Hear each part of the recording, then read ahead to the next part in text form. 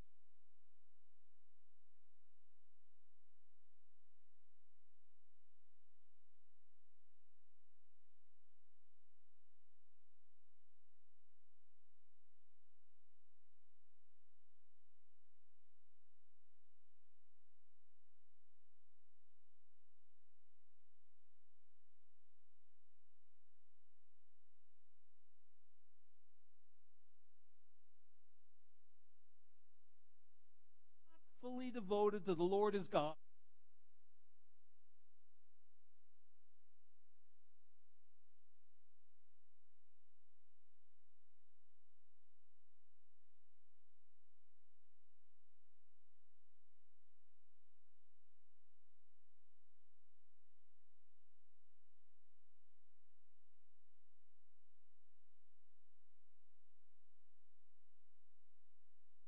This side of eternity, this side of heaven, not one of us is ever going to be 100% devoted. It's, it's something to strive for, but you just can't demand it.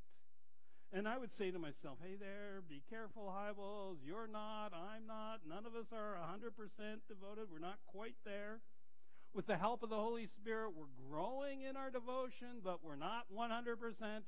Even King David, who this passage is all about, he gave his all, but wow, he blew it a lot. And while Hybels was preaching this message of 100% devotion, the stories from multiple women demonstrated that he, like many of us, was flawed, that he hadn't quite reached that 100% fully devoted standard yet, particularly when it came to how he related to women who worked closely with him. And I don't say that to downplay the seriousness of the transgressions of a, a leader like Hybels. Women absolutely need to feel safe with the men they work with. But at the same time, we're all messy. It, it's just that our mess isn't quite so newsworthy. And it's out of our mess, what the Bible calls sin, that we surrender our lives fully to Jesus. And it is Jesus who helps us, who empowers us to surrender, who moves us, who helps us move in the right direction. Because really, when you think about it, there is no other way to do the Christian life. I mean, being a half hearted Christian, being a half committed follower of Jesus just doesn't really work that well. It, just leaves you missing out on the life that Jesus promises can be yours now, let alone forever. You might not ever be 100% devoted follower of Jesus, but you sure can move in that direction. And Jesus wants to empower you to do that. Now, most of you, hey, you know what an oxymoron is, right? It's kind of, it's a phrase kind of like jumbo shrimp, right? Think about that. Or act naturally, or genuine imitation. I've always wondered what that is. Airline food, right? Or adorable cat. Um, uh, government efficiency. Uh, Microsoft Works. Actually, I don't think Microsoft Works software exists anymore because it didn't work. Well, there's an oxymoron in the Christian world that nobody admits to being. You don't, I don't, but it's a reality in every church, and that's the half committed Christian. Can there be such a thing as a half committed Christian? I mean, well, yeah, sure there is. I mean, let's just say it as it is. There are lots of people out there who, who want just enough of Jesus to get them to heaven, enough of Jesus to answer prayer, but not enough to make them radical or fanatical. Okay, in, in my books, radical is good, fanatical, maybe that's a bit off. Let me explain. Like, like my ninth great grandfather, James Mitchell, he was a fanatic. Uh, a fanatic for Jesus that he tied to the cause of Scottish independence. He, he saw Scottish independence as the only way to religious freedom.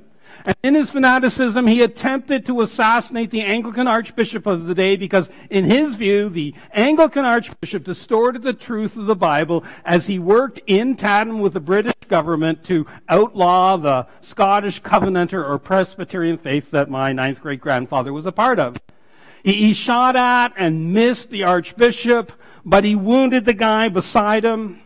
Mitchell was then hunted down for his crime, and it took them nine years to finally find him and then have him hung. And, and to this day, he remains a folk hero in the Scottish independence movement. But he was a fanatic. I, I think that's the kind of fundamentalist fanatic that some of you are rightfully afraid of.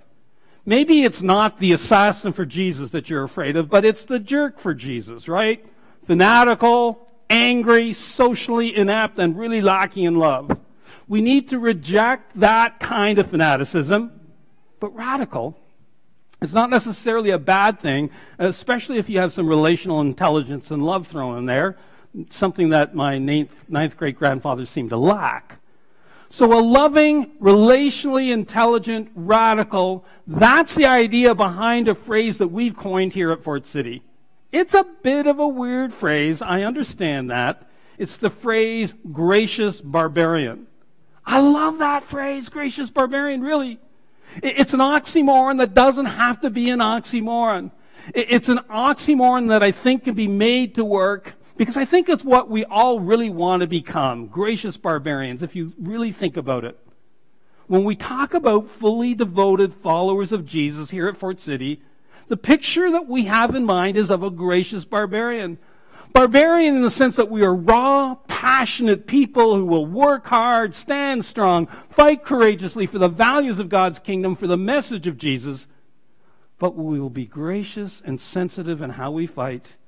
We will love well, and we will love first as we serve Jesus and the people of our city. Gracious barbarians, fully devoted followers of Jesus who love well. So, I hope this doesn't weird you out too much, okay? But this is what I truly long for. I, I would love to see you become a, a, gracious barbarian. I would love to see our church full of gracious barbarians, boldly but sensitively bringing the love of Jesus to our city and world.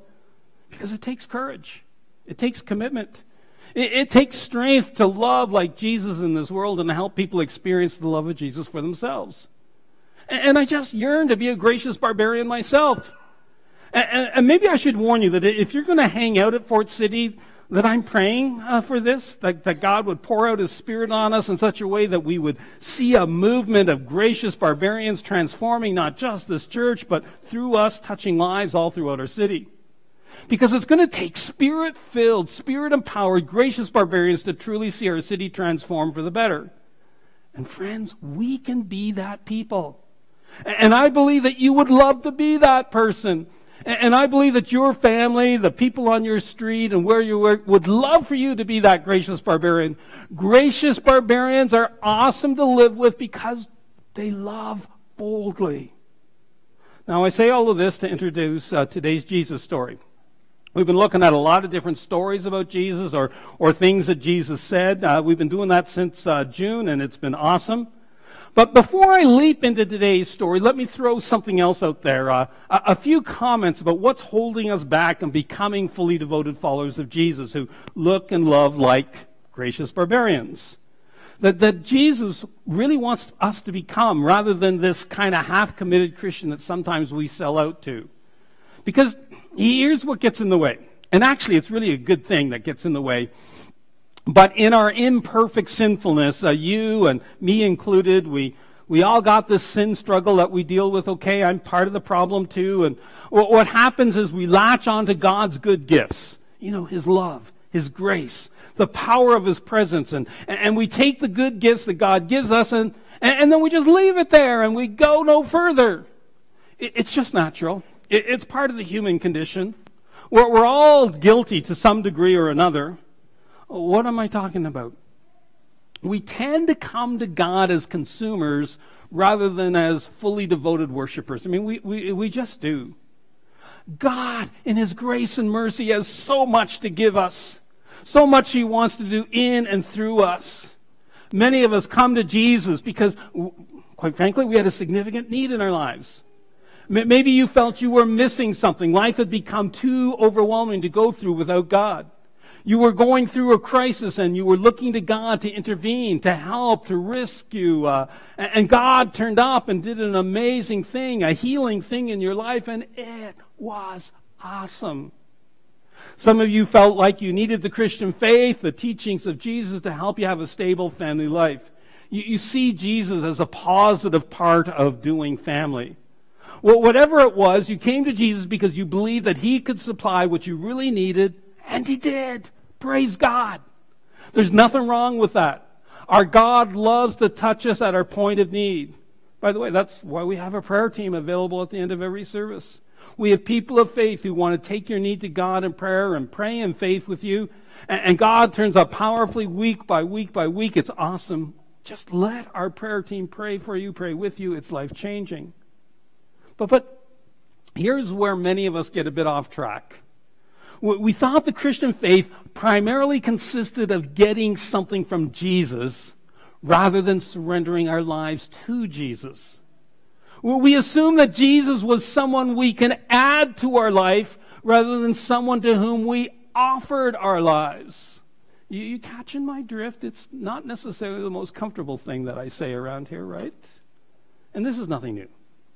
I mean, Jesus dealt with this when he was on earth, and there's a story in Mark's gospel. It's a, a story that's so important, it, it, it turns up in all four of the gospel accounts of the life of Jesus. And, you know, if it turns up in all four, you know it's something that Jesus put a lot of emphasis on. So this is a story you all really need to know. Jesus is dealing with the Apostle Peter. He's the future head of the church. Let, us look at Mark 8, starting at verse 27. You can follow along on the screen, use your Bible app on your phone or your paper Bible, whatever works for you. Mark writes Jesus and his disciples went on to the villages around Caesarea Philippi. On the way, he asked them, Who do people say I am? They replied, Some say John the Baptist, others say Elijah, and still others one of the prophets. But what about you? He asked, Who, who do you say I am? And Peter, Peter answered, You are the Messiah. You are the Messiah. As some translators say, You are the Christ. Friends, this is such a big statement. This is such a big deal. The Jewish people have been waiting for the Messiah, the Christ, the promised one, for over 3,000 years. In the Old Testament scriptures, it said this about the coming Messiah that he would overthrow the Roman oppressors, that he would right all wrongs, stop injustice, put an end to the sin curse that makes such a mess of this world that we live in. And Peter finally says it Jesus, we recognize that you are that one, that you are Christ, the Messiah, the promised one. And then look at what Jesus says. He began to teach them that the Son of Man must suffer many things and be rejected by the elders, the chief priests, and the teachers of the law, and that he must be killed. And after three days, rise again. He spoke plainly about this. This made absolutely no sense to Peter a Messiah that suffers. Hey, this Christ was supposed to put an end to suffering, not suffer himself. So, Peter took Jesus aside and he began to rebuke him. Peter thinks a little correction is order, a little intervention here. Uh, there's a little irony here. He just called Jesus the Christ, the Messiah, and now he thinks he needs to rebuke this Christ and ask him to stop speaking nonsense. Nice move, Peter. But when Jesus turned and looked at his disciples, he rebuked Peter. Get behind me, Satan. You do not have in mind the concerns of God, but merely human concerns. Ouch. Burn, right? Peter got it right back at him and a whole lot stronger. And by the way, I think this is one of the reasons why we know the Bible is authentic. It just tells the story the way it is, it doesn't sugarcoat things. You, you have the guy who's about to become the head of the church And in the founding documents of this church uh, that Peter helped to start, Jesus calls this new coming leader Satan. Nice. Now, personally, if I were to write a story looking to get support for this new thing called the church, I'm not sure I'd want to include a story of conflict between the leader of this new thing called the church and Jesus, where Jesus called this leader Satan. I mean, I just, it's not the way I think I would approach it. Hey, come to our church, our pastor flunked out of seminary, and then Jesus called him the great Satan. No, I wouldn't say that. But they put that in there because it's true. And, and hey, Jesus didn't just politely take Peter aside, you know, privately to correct him. He did this loud and clear in front of all of the disciples because they needed to hear this too. And then Jesus continues and he now talks to the crowds of people who are around so that they would hear how dumb Peter's statement was. And God then had this put in the Bible for you and me because we're kind of part of that crowd that he's speaking to as well. Then Jesus called the crowd, and that includes us, to him along with his disciples and said, Whoever wants to be my disciple must deny themselves and take up their cross and follow me. For whoever wants to save their life will lose it, but whoever loses their life for me and for the gospel will save it. Sometimes following Jesus feels a bit like death. Does that grab you? Excite you? Death? Yeah, maybe not, right? Hey, you might not get what just happened here. What, what Jesus just said, take up your cross, was absolutely shocking.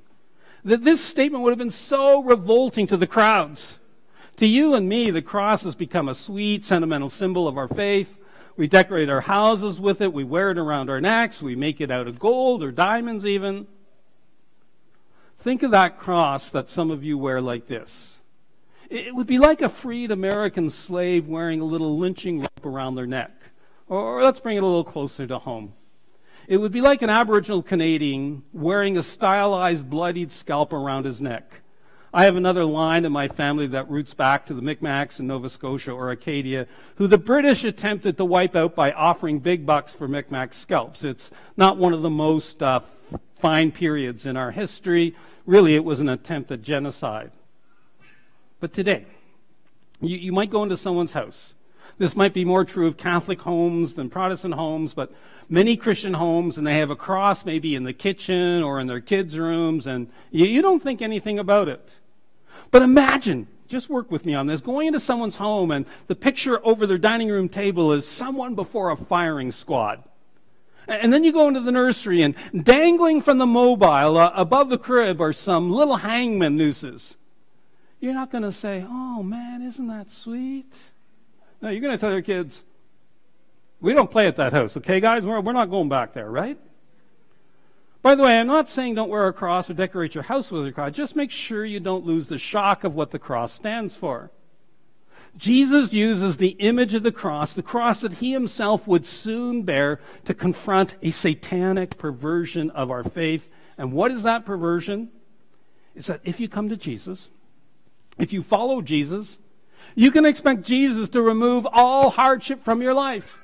And friends, that just isn't true. But the Apostle Peter, he assumed that the Messiah would end all suffering for God's people. And, he's got good reason to believe this. You can find it promised in the Old Testament scriptures.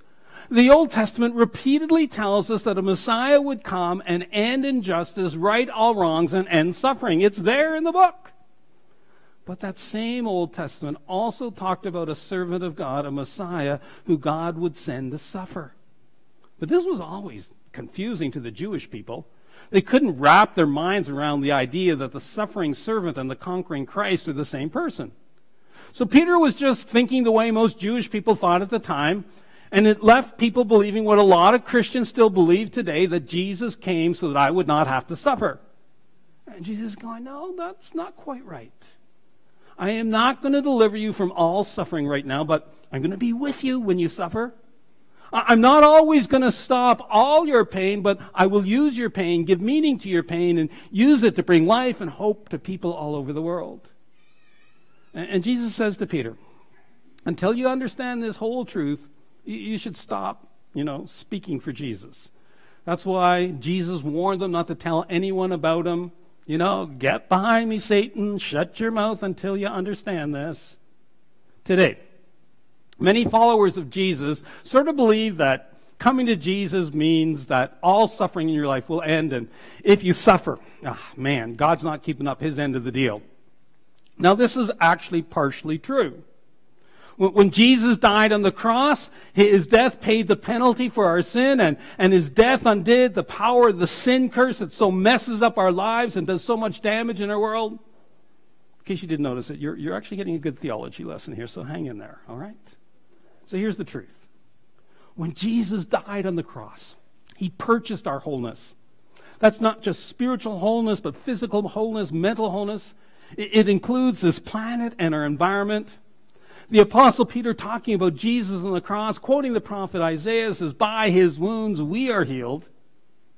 So, one of the things that Peter teaches is that there is healing in the atonement, that there is healing because of Jesus' death on the cross.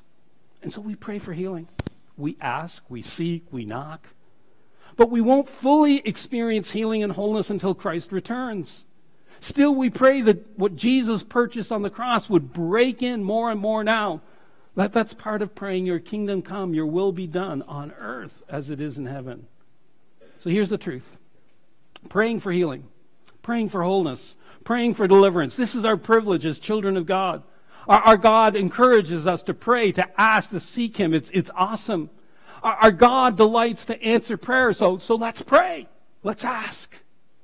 But the writers of the Bible are equally clear that disease and suffering will not be fully eliminated until Jesus returns. Friends, this side of eternity, we will see heaven. We will see God's kingdom break into this world when we pray. So let's pray. And, you know, every time you see an answer to prayer, you're getting a picture of what a heaven eternity is going to look like. But again, we won't see it fully happen the way we yearn to see it happen until He comes back. Friends, Jesus in his grace, mercy, and love, does hear and answer prayer. But the problem for some of us, that's all we see when we see Jesus.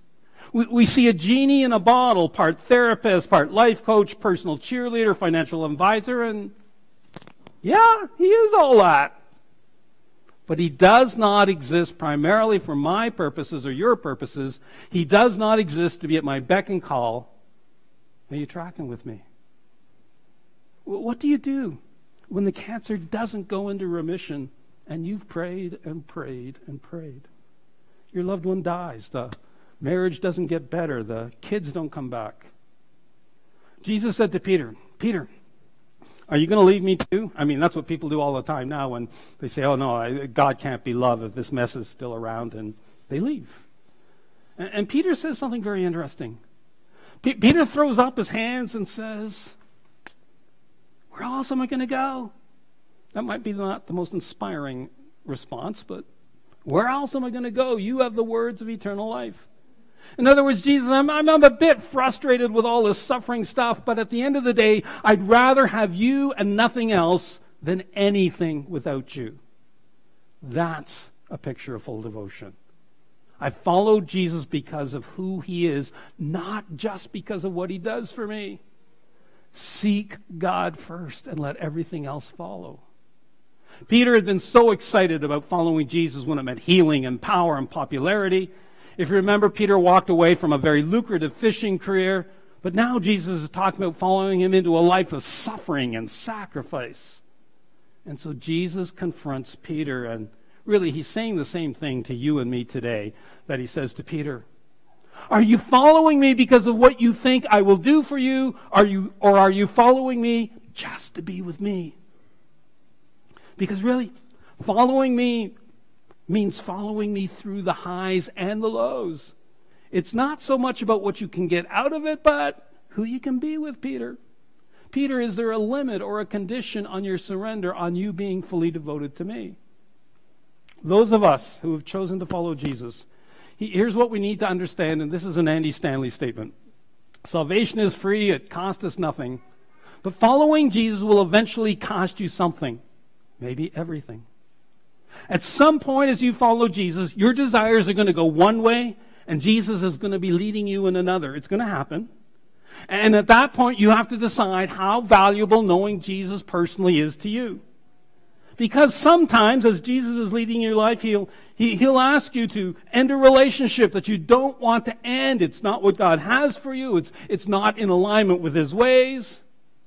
Maybe He'll call you to follow Him into some sort of mission or service, maybe here at Fort City, maybe somewhere else in the world. He will call you to make a financial sacrifice. Jesus wants to partner with us through our giving to make a difference in the world. It's, it's not because he needs our money, it's because it changes our hearts as we align with what's really important in God's perspective. Jesus, he'll call you to be a forgiver. I, I mean, someone who doesn't deserve forgiveness. But then, did we ever deserve God's forgiveness? He'll nudge you to talk to a friend about Jesus, to invite that friend, that family member to church with you, and when you see God at work, it brings life to your friend and to you. So awesome to see a friend come to Jesus. And for some of you, it's the call to be baptized, right? If you can't get wet for Jesus, can you really follow him? Okay, some of you said that's a low blow. All right, well, I'll try to temper that, maybe. At some point in time, if you're truly serious about following Jesus, he's going to take you in a direction that's 180 degrees opposite of what you want. And in that moment, you got to answer the question Did I come to get something from Jesus or to offer myself to Jesus? Do I want something from Jesus or do I just want Jesus? And, and let me tell you, when you choose to follow Jesus, when you allow Him to lead you, you, you not only get life come eternity, you, you get life, life to the full now. And in the end, you lose nothing and gain everything when you follow Jesus. What do I mean? Well, that forgiveness you offered that you didn't want to offer, you know what? It just might restore a relationship or, at the very least, release you from bitterness. The relationship that you walked away from is going to open up the possibility for a healthy, life giving relationship for you and maybe them. I see this all the time. It's, it's awesome to watch. The ministry you engage in, where you choose to serve here at Fort City or wherever God calls you, it's not only going to bring life to someone else, but it will become a renewal of your faith, maybe even your kids' faith. I mean, serving is life giving. On the giving front, God takes your financial sacrifice and brings life through it. And not just to the ministries of Fort City that you give to, but in your heart as well. Studies say that people who give consistently are just more content, more happy. They experience a depth to living that those who think they don't have enough never get to experience and just, just hang on. And in this story, Jesus is really blunt when he says, Hey, what good is it for someone to gain the whole world yet forfeit their soul? Or what can anyone give in exchange for the soul? It, it just says it's a matter of values, right? And to follow Jesus ultimately is to find life for your soul. To follow Jesus is to find life to the full now and forever. Sure, it's true. Jesus wants to bless the lives of his followers, but he doesn't want us coming him simply to be a prayer answering machine.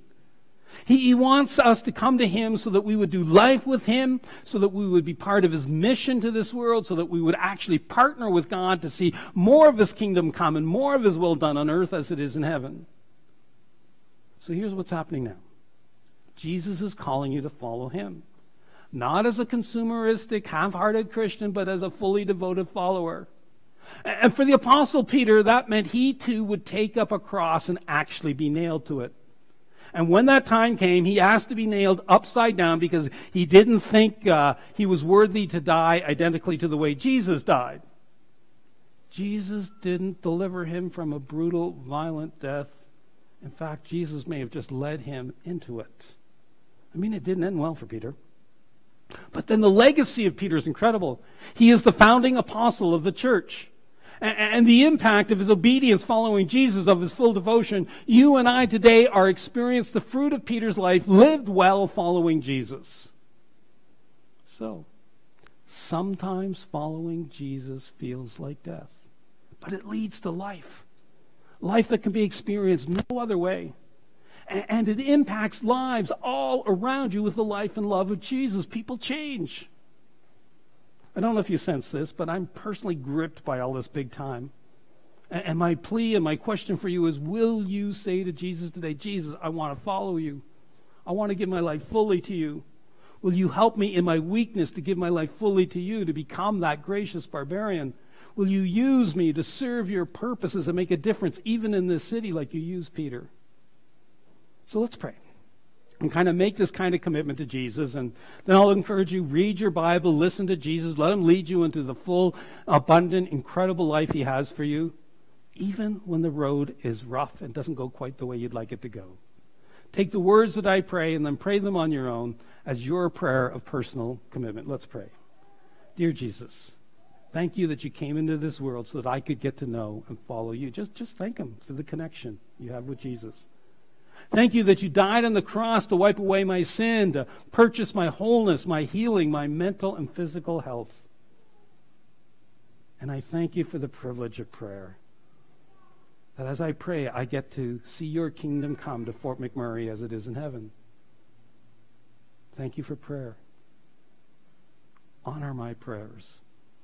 But today, I declare that I have decided to follow you in the highs and the lows that the life I truly yearn to live can only be found following you. So today, I surrender my life to you. Will you do that? Just tell him, I surrender. And ask him, fill me with your spirit. Fill me with your spirit. Be with me and lead me through the good and the bad. Oh, yeah, I pray. Heal me, deliver me, make me whole. But even as I struggle, be with me and then use me to bring your life and love to others. I pray in Jesus' name.